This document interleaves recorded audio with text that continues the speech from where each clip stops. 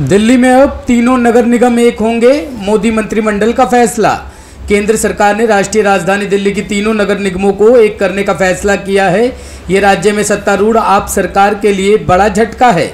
मंगलवार को मोदी मंत्रिमंडल ने दिल्ली के तीनों निगमों को एक करने के फैसले पर मोहर लगा दी है। अब दिल्ली में तीन की जगह सिर्फ़ एक मेयर होगा। इसके अलावा नॉर्थ, साउथ और ईस्ट नगर निगम के स्थान पर सिर्फ़ एक नगर निगम होगा। तीनों नगर निगमों के विलय के बाद अस्तित्व में आने वाले नगर निगम से दिल्ली की आप सरकार को पूरी तरह से दूर रखने की संभावना जताई जा रही है।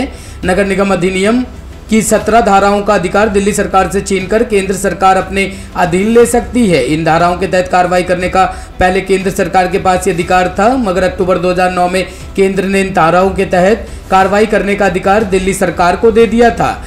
इसके बाद नगर निगम के कामकाज में दिल्ली सरकार का हस्तक्षेप बढ़ा है। सूत्रों के अनुसार दिल्ली प्रदेश भाजपा के नेताओं ने केंद्र सरकार से आग्रह किया है कि वह नगर निगम को पूरी तरह दिल्ली सरकार से मुक्त कर दे, बशर्ते वह तीनों नगर निगम रखे या फिर तीनों नगर निगमों का विलय करके एक निगम बनाए।